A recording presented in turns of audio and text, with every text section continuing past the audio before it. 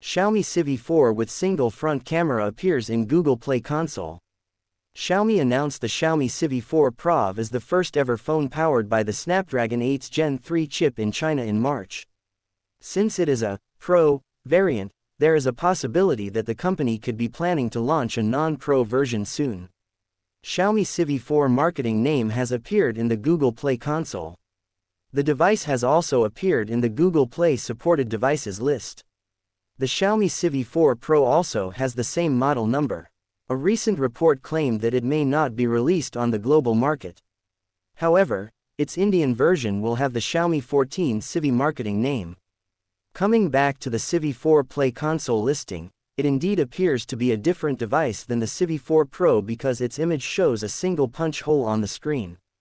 The Civi 4 Pro, on the other hand, has a pill-shaped cutout on the screen for its dual selfie camera system.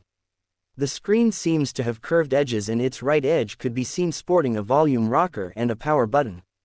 In terms of specifications, the listing reveals that the Civi 4's display offers a high resolution. It has 12 GB of RAM and runs on Android 14. It is powered by the Qualcomm chip which can be the Snapdragon 8s Gen 3 onboard. It is advisable to wait for further reports to see whether the Civi 4 will make it to the Chinese market.